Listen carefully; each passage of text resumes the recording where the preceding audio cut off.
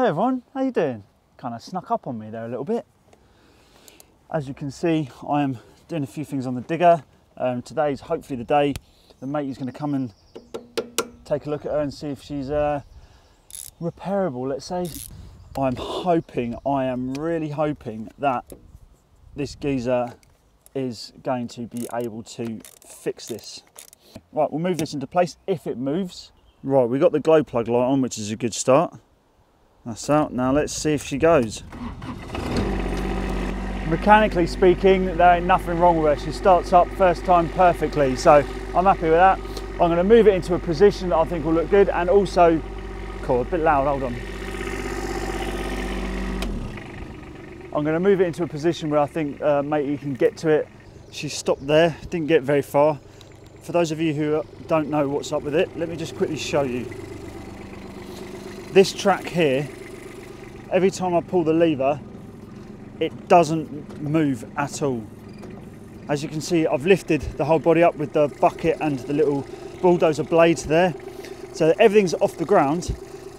Possibility that the track might be a bit loose, but I don't see why that wouldn't stop it from turning. Because as you can see, it that's the only amount that it moves, and I'm moving it the full width of the stick. And I think there's something wrong with this. Oh, hello, spider. Cool, that was a big one. The size of that. It's a black mamba. I haven't got a clue what that is. It's just a house spider.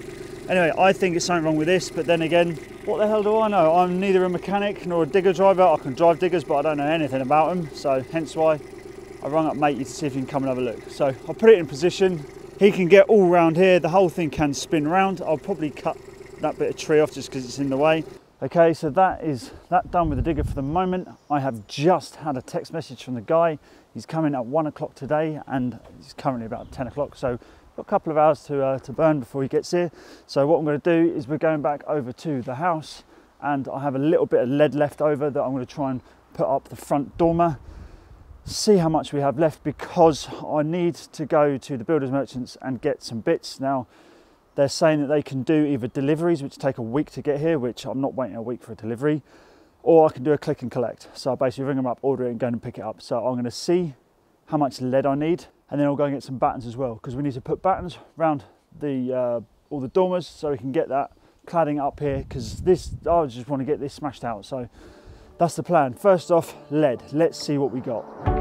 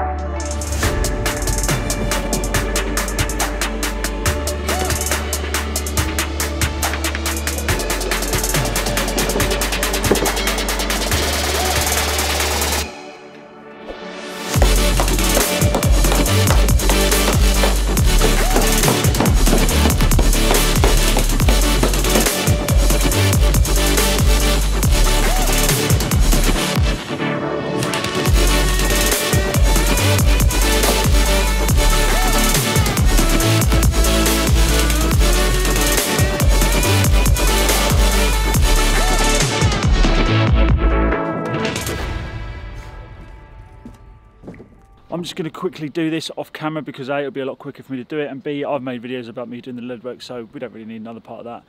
Plus, I need the speed done because matey is going to be turning up soon. Right, okay, that is the lead work done, and I'll tell you what, perfect timing. The man is here, so hopefully, fingers crossed, we can get some good news on the digger. But anyway, I've done this bit of lead, so I'm going to go and speak to my man, and I will get back to you hopefully I'll show you something of what's going on, but it's all dependent on whether he wants me on camera or not. So, see you guys in a minute.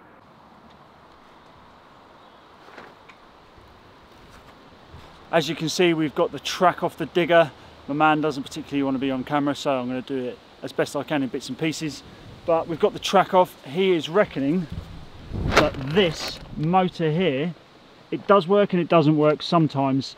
We've got a, a clip off, I don't even know what it's called, a clip off the front here. We need to try and take this out because he reckons it might just be a bearing that's gone. It might just need some, might just need some oil because we checked to see if it was this one that seized up, but that, that rolls free. That's just the one that keeps the track in place.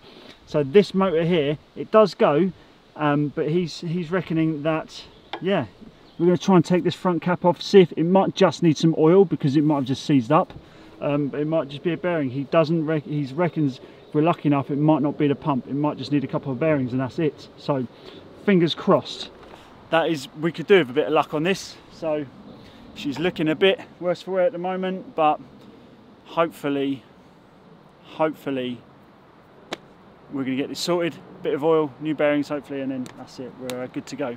But like I said, a man doesn't particularly want to be on camera, which is fair enough. So I will come back to you as and when I can and show you the progress.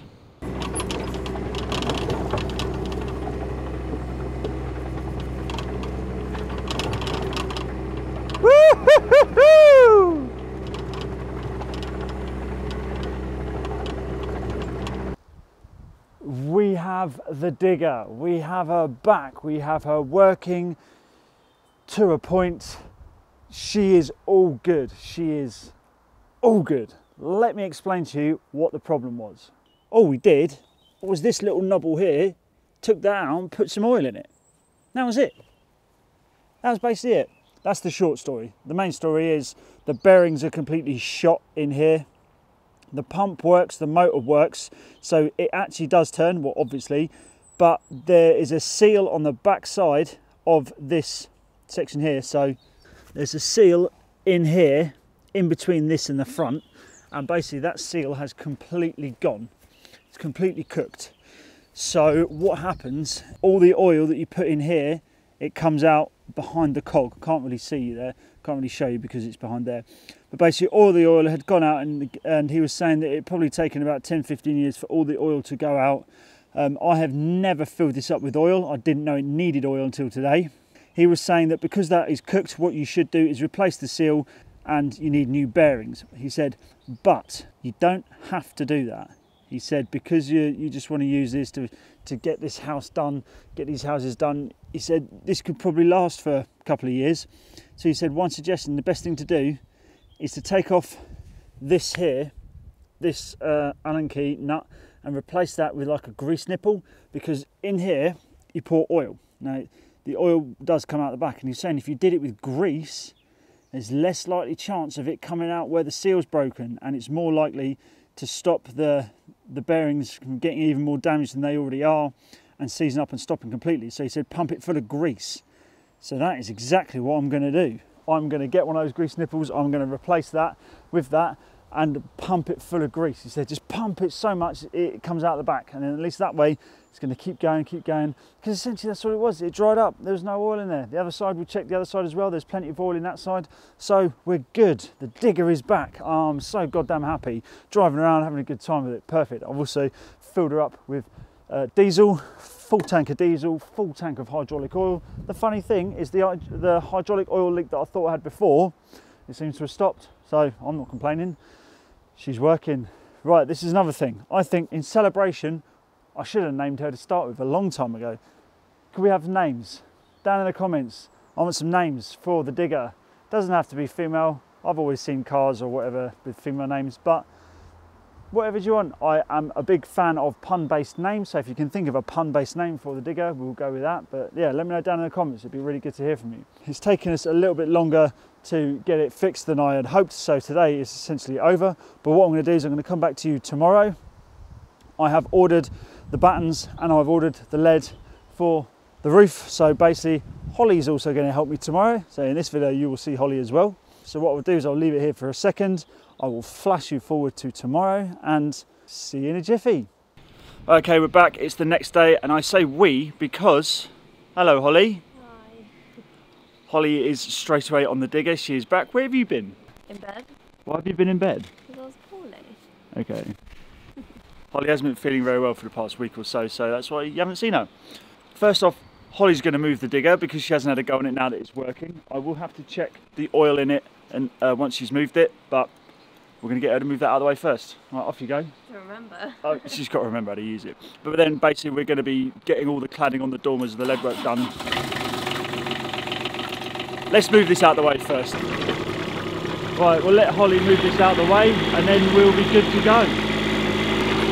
Yeah, that'll do ya. Oh. Yeah, if you turn the key, I'll turn it off. You like that digger, don't you?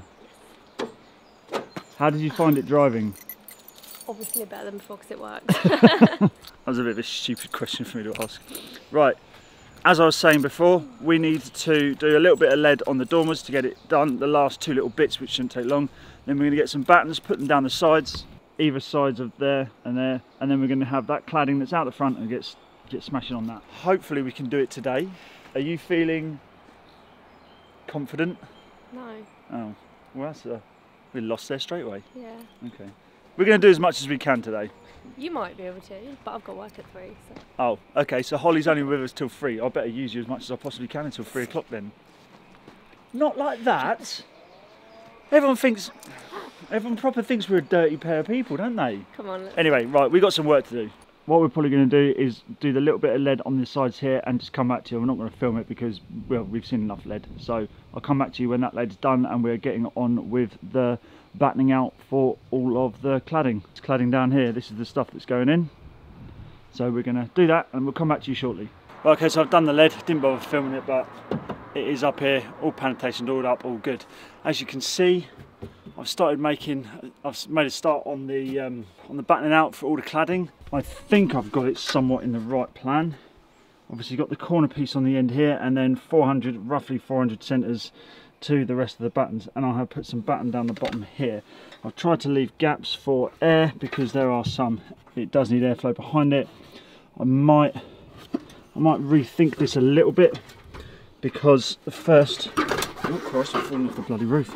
The first sort of cut is going to be a tiny little cut down here then there's a second cut that comes along here. So that first one I'm hoping it will hold in with one nail in that batten there and then the second one should just get on here. And then from there the rest of them should be all good. So I think I do need a line of batten down here but I don't want it solid all the way through so I can have airflow coming through.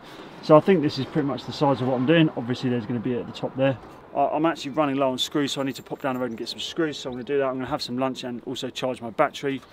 Uh, much to the dismay of a few of you unfortunately Holly won't be in the rest of the video. Um, when she said she was ill she wasn't ill not like coronavirus or anything. She had like her sciatic nerve was trapped or something along those lines and she was in a great deal of pain so she's sort of been in bed on painkillers for the past week or so. And she didn't want to go too mad stretching out too much just in case it sort of came back again. Yeah anyway I'm waffling a little bit so what I'm going to do is I will charge all this up charge my batteries up go and get some more screws come back and then I will finish this off and hopefully have it looking pucker and smart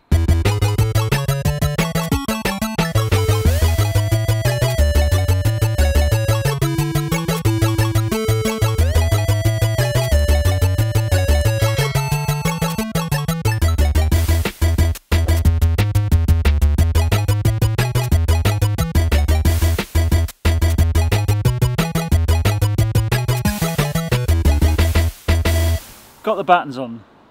I only bought one pack of battens. I thought one pack would be enough for the front and the back.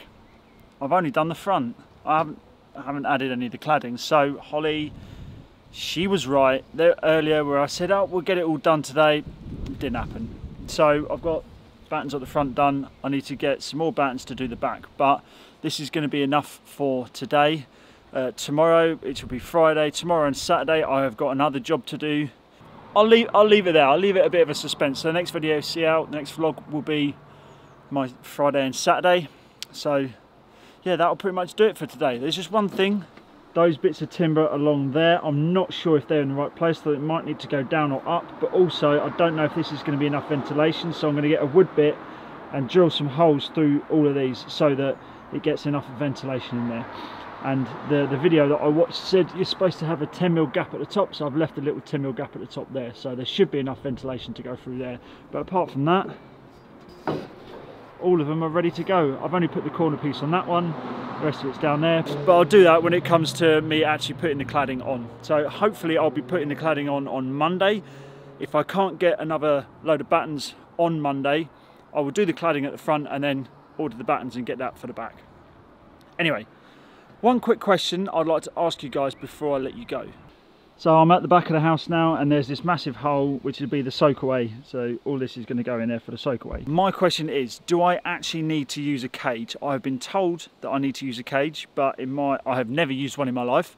Um, my short amount of research that I've done says that you need a cage for uh, if you have difficulty getting rid of standing water or puddles or something like that. But in this area, I have never in my life had any trouble getting rid of water. So in my opinion, I don't think I need to use a cage. But if anyone out there is a planning inspector or uh, an architect or something like that and knows a bit more, or builders or, or anyone out there who knows a little bit more about cages than I do, please do let me know down in the comments. It would be greatly appreciated. Okay, so that'll be the end of the vlog. That's another day done. Um, like I said, uh, got some stuff coming up for the next couple of days. Be interesting vlog as well. So we'll leave it there for today. So please do leave a like down below if you've enjoyed this episode. Subscribe if you aren't already. Ring the notification bell to be notified every time I upload a video. That being said, I will see you guys and gals in the next one. So take care. I'll see you then. ta -ra.